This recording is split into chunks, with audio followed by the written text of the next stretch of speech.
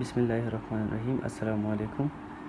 نننې زموږ سبق د یونټ نمبر 2 لیوینګ ارګانیزم یعنی جاندار مخلوق اوس جاندار په دې پوره سبق کې به مونږ وایو چې جاندار مخلوق څه ته وایي د دوی په باډي کې دننه کم فنکشنز کیږي کم د دوی په وجود کې څه څه کارونه کیږي او دا جوړ شوي د څه نه دي اوس مونږ له اوله سره به شروع وکړو د دې د خصوصیاتو نه کریکټریسټکس اف لیوینګ ارګانیزم کریکټریسیس وایي خصوصیات ته نو د لینګ ارګینیزم یو څو خصوصیات دي د هغې موږ به اوس وایو نمبر ون دی مو لینګ ارګینیزم مو دوبه حرکت کوي نمبر ټو لینګ ارګینیزم ګرو لینګ ارګینیزم چې دغه په سایز کې غټیږي ګرو مینز بړنه نمبر 3 ریسپایر دوبه ساه اخلي ریسپایریشن به کوي